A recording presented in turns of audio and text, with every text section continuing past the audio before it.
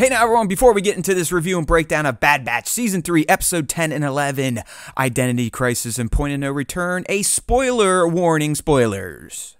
Fans have been pining for a legit check in with the Imperial side of things in this final season of Bad Batch, and boy oh boy did this week's double drop pay off in dark and evil spades with Identity Crisis and Point of No Return. The deep dive into the current state of Tantiss was a treat that not only shed more light on Palpatine's Project Necromancer and how freaking evil it truly is, but it also started to reveal a bit more insights into the mysterious Dr. Karr and how she will inevitably be involved in saving Omega and further sabotaging Project Necromancer. Her chat with Nala Se was illuminating in that it hinted at her past with Nala and how she felt discarded, but it also teased that Nala believes Emerie does indeed have the power to save Omega, whether it be physical through their shared DNA or literal through her actions to subvert Hemlock's plans.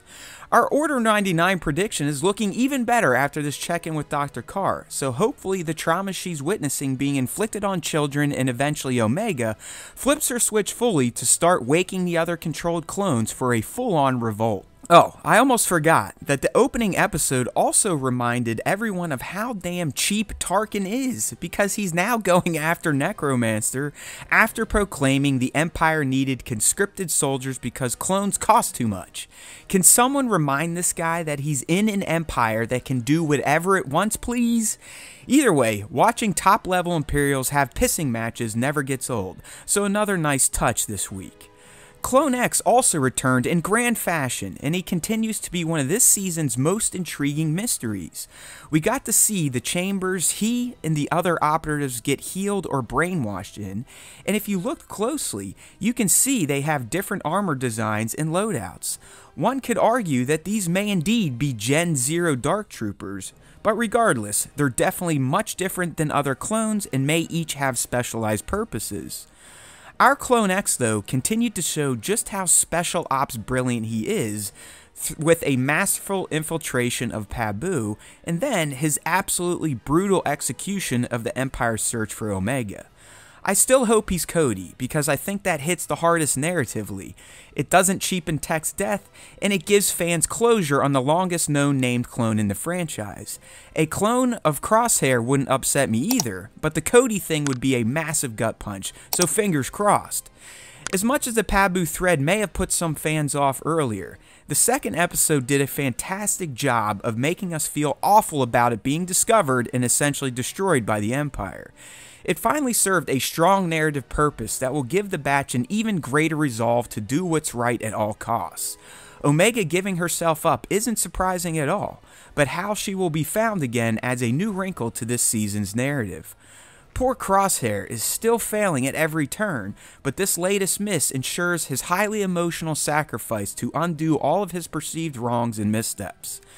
I'm guessing fans felt worse for Crosshair and the clones than they did for Omega, because the fallout from the Pabu attack and Omega's capture will undoubtedly lead to some highly emotional moments as the boys do everything in their power to finish this fight and save their sister. Alright, top moments time. Let's start with the reveal of the Project Necromancer Vault. Holy crap! We all know the Empire is beyond evil, but seeing how they use bounty hunters like Cad Bane to kidnap force laden children from their parents, only to be locked up in a prison for experimentation, is a new form of bad, bad. The fact that Hemlock prefers kids because they're less resistant and comply better is as sick as it gets and shows that he may be just as heinous as Palpatine himself. The vault scene also telegraphed to fans that it will be the thing that finally breaks Dr. Karr of her blind obedience to Hemlock. I have to go with the Tarkin check in next, mostly for the fact that it was so Tarkin it couldn't be more Tarkin. The snooty attitude, the condescending tone, all of the horrible tendencies of this evil man were on display, and he perfectly reminded everyone as to why he gained so much power under Palp's empire. Plus, it never gets old watching him talk crack to his allies without actually talking crap. Up next is an emotional one, at least for me, and that's the scene between Omega and Lyana when she leaves Tech's glasses and Lula in the Pabu relic room.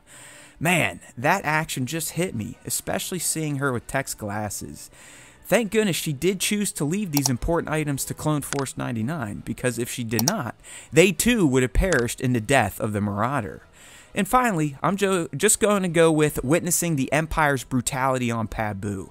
It was brilliantly dark and a perfect showcase of how awful the Empire was and what it would do to any system anytime it had an interest in its resources or actual citizens that live there. Without notice, Pabu had a destroyer in its skies, a battalion of clones and TKs in their streets, and a Clone X Psycho super warrior terrorizing its citizens.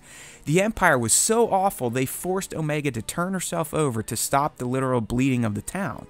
And while her doing so isn't surprising, I think we predicted as much on the Star Wars Time show, but seeing the horrific actions play out just expertly hammered home how horrendous the Empire is. Eggs and references time. All right, starting with a brain dead one in the return of Cad and Todo, who were both voiced by their respective actors in Corey Burton and Seth Green. How about Scorch finally being called Scorch in this series? Small, but big, I guess, and I don't care about Delta's heroics at this point. Scorch needs to die a terrible death or have one hell of a redemption save because he's possibly more evil than Clone X. We got a Cid reference from Mr. X, so hopefully he killed her for that intel, because now she's responsible for the destruction of Pabu and Omega having to give herself up and being captured again. Steve Blum, aka Zeb from Rebels, did some voice work in this double drop as a citizen and a stormtrooper. Phee mentioned Ando Prime, which is a planet first featured in the Pod Racer game, and she also mentioned Skara Null, which is the planet from Season 2 of Bad Batch that she sends the Batch to, and they get trapped in a tomb. And finally, Matt Lanter, aka Animated Anakin, voiced this fueling droid.